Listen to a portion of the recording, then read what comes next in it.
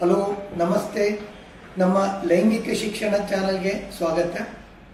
ಇವತ್ತಿನ ವಿಡಿಯೋದಲ್ಲಿ precum fluid ಅಥವಾ ಪ್ರೀ ಎಜಾಕ್ಯುಲೇಟರಿ ಫ್ಲೂಯಿಡ್ ಅದರ ಬಗ್ಗೆ ಹೇಳ್ತೇನೆ.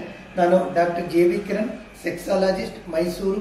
ನಮ್ಮ ವಿಡಿಯೋ ನೋಡಿ, ಲೈಕ್ ಮಾಡಿ, ಮತ್ತು ಶೇರ್ ಮಾಡಿ.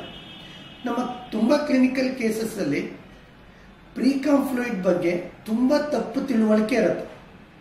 ಅಂದ್ರೆ ಒಂದು ಫೋನಲ್ಲಿ ಮಾತಾಡಿದಾಗ ಗರ್ಲ್ ಫ್ರೆಂಡ್ ಜೊತೆಗೆ, ಅಥವಾ ಒಂದು ಪಾರ್ಟ್ನರ್ ಜೊತೆ ಒಂದು ಸೆಕ್ಷುವಲ್ ಆಕ್ಟಿವಿಟಿ ಹೋದಾಗ, ಅಥವಾ ಒಂದು ವಿಡಿಯೋ ನೋಡ್ಬೇಕಾದ್ರೆ ನನಗೊಂದು ಏನೋ ಒಂದು ಲಿಕ್ವಿಡ್ ರಿಲೀಸ್ ಆಗುತ್ತೆ, ಅದು ಎಜಾಕ್ಯುಲೇಟ್ ಆಗ್ತಾ ಇದೆ, ಅದರಿಂದ ನನಗೆ ಬ್ಯಾಕ್ ಪೇನ್ ಬರುತ್ತೆ ಎರೆಕ್ಷನ್ ಪ್ರಾಬ್ಲಮ್ ಆಗುತ್ತೆ ಎಜಾಕ್ಯುಲೇಷನ್ ಪ್ರಾಬ್ಲಮ್ ಆಗುತ್ತೆ ಅಂತೇಳಿ ಆಲ್ಮೋಸ್ಟ್ ತುಂಬ ಕೇಸಸ್ಸಲ್ಲಿ ಈ ಕಂಪ್ಲೇಂಟ್ ಇರುತ್ತೆ. ಅಂದ್ರೆ ಪ್ರೀಕಾಮ್ ಫ್ಲೂಯಿಡ್ ಅಂದ್ರೆ ಏನು ಈ ಪ್ರೀಕಾಮ್ ಫ್ಲೂಯಿಡ್ ಅಂದ್ರೆ ನಮ್ಮ ಒಂದು ಕೋಪರ್ಸ್ ಗ್ಲ್ಯಾಂಡ್ ಅಂತ ಇರುತ್ತೆ. ಪೆನ್ನಿಸ್ ಮತ್ತೆ ಟೆಸ್ಟಿಸ್ ನಡುವೆ. ಯಾವಾಗ ಮೆನ್ನು ಸೆಕ್ಷುಲಿ ಅರೋಸ್ ಆಗ್ತಾನೆ? ಈಗ ಸೆಕ್ಸ್ ಬಗ್ಗೆ ಮಾತಾಡೋದಾಗ್ಲಿ ಸೆಕ್ಸ್ ಬಗ್ಗೆ ಮೂಡ್ ಬರೋದಾಗ್ಲಿ, ಅಥವಾ ಒಂದು ಪಾರ್ಟ್ನರ್ ಜೊತೆ ಸೆಕ್ಷುವಲ್ ಆಕ್ಟಿವಿಟಿ ಅಂತ ಹೋದಾಗ ಅದು ಸಣ್ಣದಾಗಿ ರಿಲೀಸ್ ಆಗತ್ತೆ. ಈಗ ನಮ್ಮ ಪೆನ್ನಿಸ್ ಅಲ್ಲಿ ಎರಡು ತರ ಔಟ್ ಆಗತ್ತೆ. ಒಂದು ಯೂರಿನ್ ಹೊರಗಡೆ ಬರುತ್ತೆ, ಇನ್ನೊಂದು ಸ್ಪರ್ಮ್ ಎಜಾಕ್ಯುಲೇಟ್ ಆಗತ್ತೆ. ಈ ಯೂರಿನ್ ಅನ್ನೋದು ಅಸಿಡಿಕ್ ಇರುತ್ತೆ. ಅದು ಇಂಪ್ಯೂರ್ ನಮ್ಮ ಬಾಡಿಲಿ ಏನಿದೆ ಇಂಪ್ಯೂರ್ ಅದನ್ನು ಹೊರಗಡೆ ಹಾಕುವಂಥದ್ದು. ಅದು ಅಸಿಡಿಕ್ ಅಲ್ಲಿ ತುಂಬಾ ಹೀಟ್ ಇರುತ್ತೆ. ಸೊ ನಾವು ಸೆಕ್ಷುಲಿ ಅರೋಸ್ ಆದಾಗ ಆ ಯೂರಿನ್ ಪೆನ್ನಿಸ್ ಅಲ್ಲಿ ಏನ್ ಕೂತಿರುತ್ತೆ ಅಸಿಡಿಕ್ ನೇಚರ್ ಅದನ್ನ ಆಲ್ಕಲೈನ್ ನೇಚರ್ ಮಾಡುತ್ತೆ. ಅಂದ್ರೆ ಆ ಒಂದು ಟೆಂಪರೇಚರ್ ಅನ್ನ ಕಡಿಮೆ ಮಾಡುತ್ತೆ. ಈ ಕಡಿಮೆ ಮಾಡೋ ಉದ್ದೇಶ ಏನಂದ್ರೆ, ಆ ಸ್ಪರ್ಮ್ ಈಸಿಯಾಗಿ ಫ್ಲೋ ಆಗಲಿ ಸ್ಪರ್ಮಿಗೆ ಡ್ಯಾಮೇಜ್ ಆಗಬಾರ್ದು ಅಂತೇಳಿ ಸೊ ಅದೇ ಲಿಕ್ವಿಡ್ ಅನ್ನ ನಾವು ಪ್ರೀಕಾಮ್ ಫ್ಲೂಯಿಡ್ ಅಂತ ಹೇಳ್ತೀವಿ.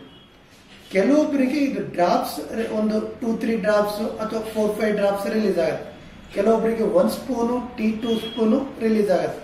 ಬಟ್ ಇದು ಎಷ್ಟೇ ರಿಲೀಸ್ ಆದರೂ ಇದರಿಂದ ಬಾಡಿಗೆ ಯಾವುದೇ ಡ್ಯಾಮೇಜ್ ಆಗಲ್ಲ. ಸೊ ಪ್ರೀಕಾಮ್ ಫ್ಲೂಯಿಡ್ ಫಂಕ್ಷನ್ಸ್ ಏನಂದ್ರೆ ಒಂದು ಅಸಿಡಿಕ್ ನೇಚರ್ನ ಆಲ್ಕಲೈನ್ ಮಾಡುತ್ತೆ ಅದ್ರ ಸ್ಪರ್ಮಿಗೆ ಹೆಲ್ಪ್ ಮಾಡುತ್ತೆ. ಇನ್ನೊಂದು ಇದು ಲೂಬ್ರಿಕೇಟಿಂಗ್ ಫ್ಲೂಯಿಡ್ ಆಗಿ ವರ್ಕ್ ಮಾಡುತ್ತೆ.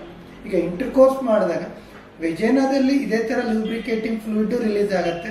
ಇವರಲ್ಲೂ ಪ್ರೀಕಾಮ್ ಫ್ಲೂಯಿಡ್ ರಿಲೀಸ್ ಆಗೋದ್ರಿಂದ ಒಂದು ಡ್ರೈನೆಸ್ ಇರಲ್ಲ ಪೇನು ಡಿಸ್ಕಂಫರ್ಟ್ ಇನ್ಫೆಕ್ಷನ್ ಆಗೋ ಸಾಧ್ಯತೆ ಇರಲ್ಲ. ಸೊ ಈ ರೀತಿ ಇದು ಪ್ರೀಕಾಮ್ ಫ್ಲೂಯಿಡ್ ಅಲ್ಲಿ ಬೆನಿಫಿಟ್ ಇರುತ್ತೆ. ಫ್ರೆಂಡ್ಸ್ ಈ ಪ್ರೀಕಾಮ್ ಫ್ಲೂಯಿಡ್ ಅನ್ನೋದು ವೆರಿ ನಾರ್ಮಲ್ ಇದು ಎಷ್ಟು ಅಮೌಂಟ್ ರಿಲೀಸ್ ಆದರೂ ಅದು ಡ್ಯಾಮೇಜ್ ಆಗಲ್ಲ. ತುಂಬಾನೇ ಡಿಸ್ಕಂಫರ್ಟ್ ಆದಾಗ ಮಾತ್ರ ಒಂದು ಡಾಕ್ಟರ್ನ ಕನ್ಸಲ್ಟ್ ಮಾಡಬೇಕು. ಇನ್ನು ವೆರಿ ಇಂಪಾರ್ಟೆಂಟ್ ಅಂದ್ರೆ, ಕೆಲವೊಬ್ಬರು ಪ್ರೆಗ್ನೆಂಟ್ ಆಗಬಾರ್ದು ಅಂತೇಳಿ ಈ ಪುಲ್ ಔಟ್ ಅಂತ ಮೆಥಡ್ ಅಥವಾ ವಿತ್ಡ್ರಾಲ್ ಮೆಥಡ್ ಅಂದ್ರೆ ಇಂಟರ್ಕೋರ್ಸ್ ಮಾಡ್ತಾ ಮಾಡ್ತಾ ಎಜಾಕ್ಯುಲೇಷನ್ ಆಗೋ ಮೂಮೆಂಟ್ ಅಲ್ಲಿ ಅದನ್ನ ತೆಗೆಯುವಂತ ಒಂದು ಮೆಥಡ್ ಅನ್ನ ಯೂಸ್ ಮಾಡ್ತಾರೆ. ಆಕ್ಚುಲಿ ಈ ಪ್ರೀಕಾಮ್ ಫ್ಲೂಯಿಡ್ ಅಲ್ಲೂ ಫಾರ್ಟಿ ಒನ್ ಪರ್ಸೆಂಟ್ ಸ್ಪರ್ಮ್ ಇರೋ ಚಾನ್ಸಸ್ ಇರುತ್ತೆ. ಇದು ಟೂ ತೌಸಂಡ್ ಲೆವೆನ್ ರಿಸರ್ಚ್ ಪ್ರಕಾರ ಫಾರ್ಟಿ ಒನ್ ಪರ್ಸೆಂಟ್ ಸ್ಪರ್ಮ್ ಇರೋದ್ರಿಂದ ಒಂದೊಂದು ಟೈಮ್ ಪ್ರೆಗ್ನೆನ್ಸಿ ಆಗೋ ಚಾನ್ಸಸ್ ಇರುತ್ತೆ. ಸೊ ಯಾವಾಗ ಪ್ರೆಗ್ನೆನ್ಸಿ ಬೇಡ ಅಂತ ಅಂದಾಗ ಕಾಂಡೋಮ್ ಯೂಸ್ ಮಾಡೋದು ಸೇಫರ್ ಸೈಡ್ ಈ ಪುಲ್ ಔಟ್ ಫೇಲ್ಯೂರ್ ಚಾನ್ಸಸ್ ಜಾಸ್ತಿ ಇರುತ್ತೆ. ಸೊ ಫ್ರೆಂಡ್ ಪ್ರೀಕಾಮ್ ಫ್ಲೂಯಿಡ್ ಬಗ್ಗೆ ಏನೇ ಡೌಟ್ ಇತ್ತು ಅಂದ್ರೆ ಡಾಕ್ಟರ್ನ ಕನ್ಸಲ್ಟ್ ಮಾಡಿ, ಅದ್ರ ಬಗ್ಗೆ ಭಯ ಹೆದರಿಕೆ ತಗೊಂಡು ಸುಮ್ಮನೆ ಹಿಂಸೆ ಪಡ್ಕೊಳ್ಳೋದು ಒಳ್ಳೇದಲ್ಲ. ಇದು ಇವತ್ತಿನ ನಮ್ಮ ವಿಡಿಯೋ ಇಲ್ಲಿ ತನಕ ನಮ್ಮ ವಿಡಿಯೋ ನೋಡಿದ್ದಕ್ಕೆ ತುಂಬಾ ವಂದನೆಗಳು.